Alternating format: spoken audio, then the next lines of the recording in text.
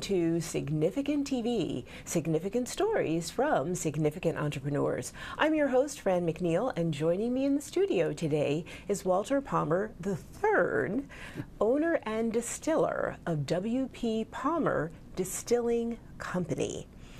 Walter, that is a mouthful. Yes, it and is. how appropriate, because gin can be a mouthful, as well as Manayunk Moonshine. Yes. But we'll get to that. Okay, we'll get to that. So I'm excited to have you on the show today. Thank I'm you so for excited to be here. stepping away from the distillery Yes. um, to share some of your spirit Mm-hmm. and your spirits. I'm very happy to be here. Good, good. Tell me, why are you doing what you're doing? Why are you in the distilling business? Um, it started actually when I lost my job in 2012, and as I looked for a job, I tried to find. Um, I tried to get back to what I was doing, which was running a, a large trade association in the Delaware Valley. Um, I had done that for over 27 years. I couldn't really. I spent a lot of time trying to get back to that space, um, but ultimately. Um, as I was looking for a job, I started. I asked my wife if I could buy a still, and I started uh, distilling because when you're looking for a job, you kind of need something to do. Um, I like I like making things, so I, I like I like process, and I also like to talk about it. And as I was looking for a job, I started making beer. I started, I, and I had always made beer, but I had started making beer again, making bread. Looked back into wine, and I've read that the laws have changed, and now you could actually start a small craft distillery, like craft brewing business did about 25 years ago. Um, so I started to still. I bought a still. I asked my wife if you could do it. It's you know there is some legal challenges about that. I did do that. I started distilling, and um, I found that people actually liked what I did, and they liked they liked what I made. I then, as I continued to go for other job interviews and looking for other opportunities, um, and all all along, I just nothing was really coming out, and I I ultimately felt that I didn't. I, I came to the realization that I did not want to be this 55 year old guy stuck in some middle management job in some company for the remainder of my career. Mm-hmm. And I, it came as like kind of a thought that I I wanted to move. Why should I start? Why should I continue to try to get back to where I was? Mm-hmm. I need to do something different. Mm-hmm. And so I went to school. uh, I went up to Cornell. I took some classes on distillation. We started visiting distilleries. And I created this plan B. If I couldn't find a job, I would just, you know, kind of, I couldn't find a job, which was plan A, I would have plan B.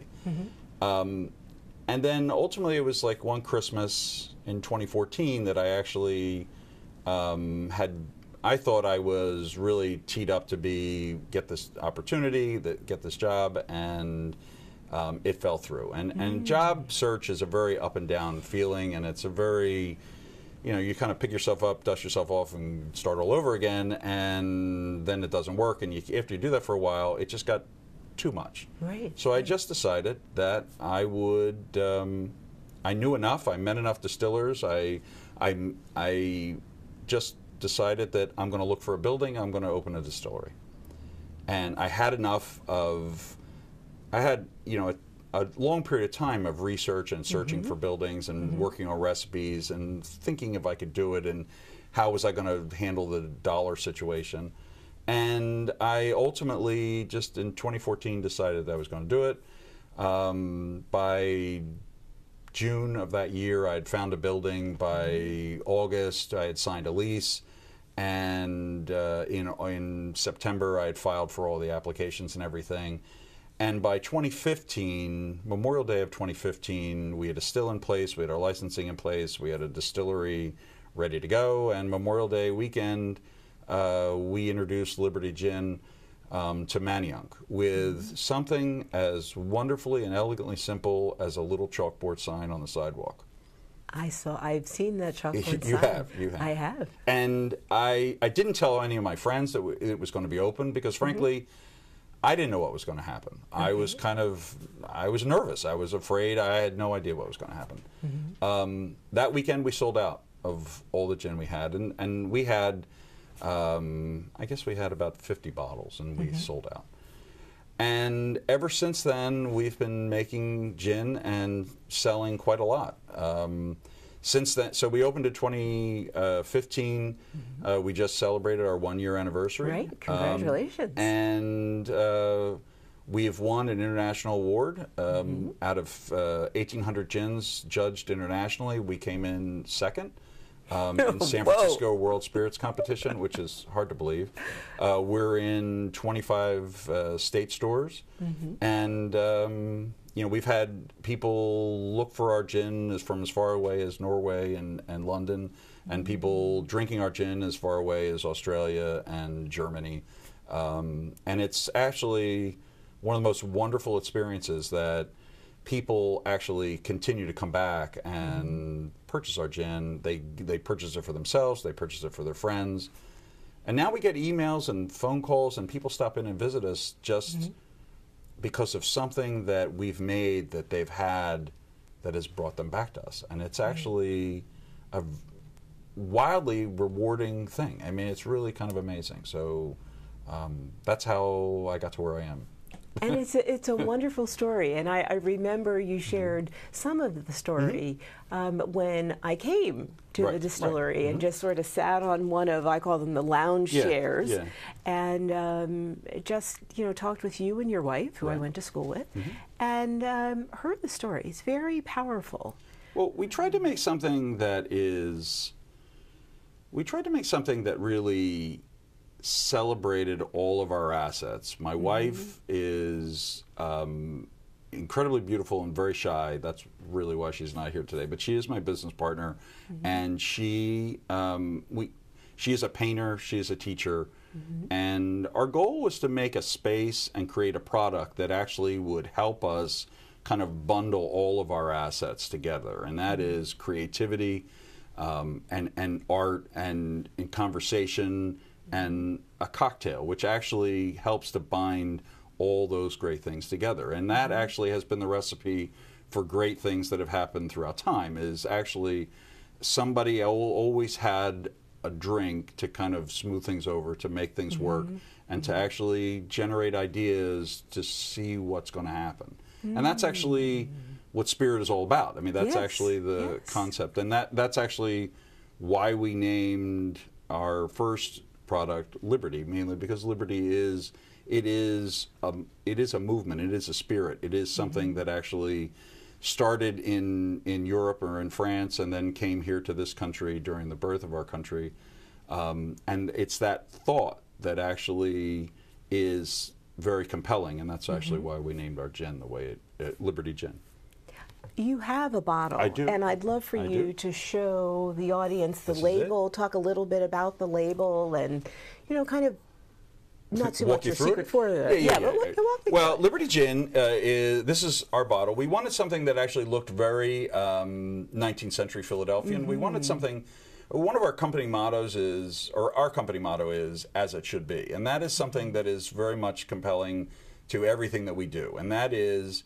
Um, we want gin to be gin. We, we don't want it to be this is a gin base and kind of it's my modern interpretation of what gin could be we wanted things to be the way they should be. And so we looked back in time and in history to look for an older recipe for gin. So we went back to the time of the American Revolution and discovered that the Dutch actually were manufacturing gin and bringing gin through the colonies during the Dutch spice trade um, in Philadelphia. So our recipe actually goes back to the 18th century. Six basic botanicals, which were prevalent on the Dutch spice trade obviously juniper is the, the big one. Um, juniper, cardamom, coriander, angelica root, grains of paradise, and lemon peel. So that that's all that's in our gin, um, which makes it somewhat unique. Um, most gins today are uh, you know 15 to 20 different ingredients. Mm, what we've done is we've gone back in time to look for kind of the essence of what gin was. Mm. And we also then build a still in Manayunk that is a replica of a still from that same time period. So it's a still that would have been in Philadelphia during the 18th century, and we've married that with a recipe from that same time period. So mm. when you drink our gin, we like to think it's a little better today. But when you drink our gin, you're actually tasting a flavor profile that Washington, Jefferson, and Franklin would have had mm. as they sat and talked about the Declaration of Independence and actually talked about what liberty really meant hmm. in this country. Um, and actually in this city, and I, to me, that actually is a very powerful story. Is that mm-hmm. when you drink our gin, here in, in Philadelphia you know, or around Philadelphia in the suburbs, you're actually drinking something that actually men that changed the course of the world mm-hmm. drank. Mm-hmm. And that and you're actually drinking it with the same botanicals, based on the same technology. And that to me is a very powerful story. And mm. that's that that's kind of the essence of, of our, our Liberty Gin.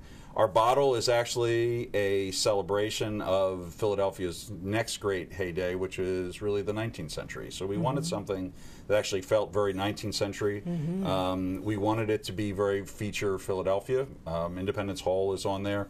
Um, if you really look closely, this is actually a moment when the Liberty Bell was actually moving through um, in front of Independence Hall. Um, and uh, it is uh, it, it has the old stamp of, of what um, old spirit bottles have, and that's really what we wanted. We wanted something that um, felt very much very much a regional thing. Um, you can buy gin anywhere. You can only drink this gin made here in this southeastern Pennsylvania right now, and that's what we wanted. Very, very cool. Now, you have gone on to create some other products. Mm-hmm. Um, I, in fact, have purchased the uh, ever elusive Maniac the ever elusive Moonshine. Maniac Moonshine. Yeah. It's, it, it, it- Maniac Moonshine is actually another great recipe Mm-hmm. that comes out of the American Revolution. It's George Washington's recipe for white whiskey. Mm-hmm. Um, and the beautiful thing about that is, is that it's made with Bucks County corn and Chester County malted barley. We only use Pennsylvania spring water in all of our spirits. Mm-hmm. Um, so when you actually drink our Maniac Moonshine, it is actually a spirit that George Washington would have had on a saddle from Valley Forge to Trenton.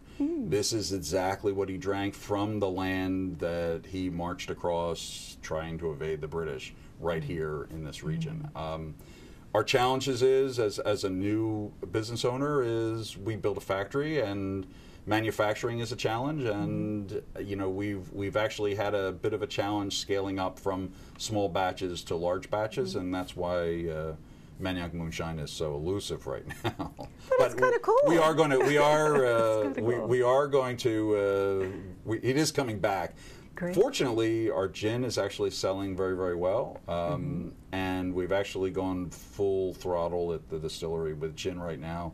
Um, I'm hoping in August we can get back to uh, whiskey production. Terrific, terrific. And you um, also, people can rent out your facilities on a yep. limited basis and have parties there. Yeah, we've had. Can you talk uh, us briefly sure. about that? Sure. We've had um, we've had several, uh, mostly revolving around the wedding Mm-hmm. kind of genre, um, mainly because we have a we do a CSA pickup for flowers with Jenny Love uh, Flowers, which is she's a Martha Stewart certified florist in in uh, Philadelphia, um, and people actually have rented out the distillery for either rehearsal dinner or bridal showers.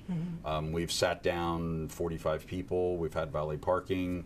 Um, it's a very, it's a fairly rustic place, but it is uh, unique, and there are not many places where you can actually sit and enjoy friendship around a still that actually has made the spirits that you're actually drinking. Um, Totally and there really just aren't that many locations like that. We do hope to actually open a cocktail space in that in that same area, um, and we we look forward to the time when people actually come in and have a cocktail. Um, uh, around our still and, and enjoy uh, each other's company over a nice, uh, wonderfully handcrafted spirit. Well, Walter, this has been an absolute pleasure. It's been a great Um, time to be here. Continue doing what you're doing. Where can people find you? Well, you can find us at the distillery uh, on Saturdays at 376 Shurs Lane um, in Manayunk. We're right up the hill from uh, Main, Main Street. Um, you can also purchase our Liberty Gin at select uh, um, fine wine and, and good spirit stores um, in southeastern Pennsylvania. We're all, we're predominantly on the main line here, um, so we're in Ardmore, Bryn Mawr. Wayne, Paoli, and Exton, those Excellent. stores. Excellent. Um, we're also downtown in a number of stores down there, um, and our sales are doing fairly well. And we've been adding about four or five stores a month, so it's been good. Excellent. Well, thank you. Thank you, thank, you for having me. My pleasure. There you have it. Spirited, significant, distilling, Liberty, gin. It's a perfect recipe, and you can find more at Walter P. Palmer Distilling Co. Thanks for joining us for Significant TV, Significant Stories from Significant Entrepreneurs.